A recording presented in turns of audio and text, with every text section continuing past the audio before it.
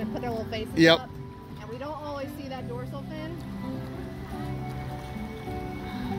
So it's yeah easier to pick out a facial swoosh, Much easier to go in a swoosh. and they call that in the business marbling, right? Marbling. Yeah. See, I'm getting it. You're getting it. See, SeaWorld, educational, right? Another fun dolphin were the gray kind of marbling from their um, dark gray bodies to their white bellies. Sure. That kind of little swoosh.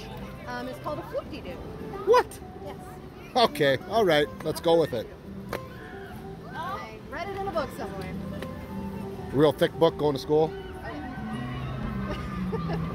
Let me guess. Central Florida. No. Oh. I actually went to school in Maine.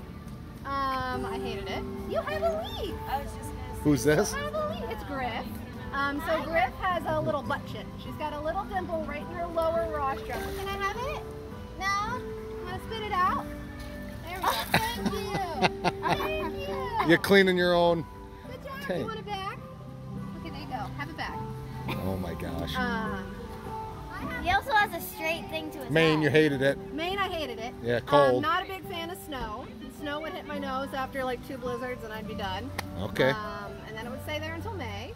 Um, but I went to the University of New England up there um, and I majored in animal behavior. Okay. Um, so it was a lot of just plain human psychology. Um, and then my senior year, I got a little bit Specialized of in the animal animals, yeah. training, animal cognition, um, stuff like that. That's cool. But fun fact about dolphin training, you do not need a, a specific degree. Um, everybody thinks marine biology. Yeah, yeah. Um, no, it's, it's helpful. Right. Um, but you just need a four-year degree in something. The best thing to get is psychology because we are working with Yeah, yeah. behavior. Um, but any degree.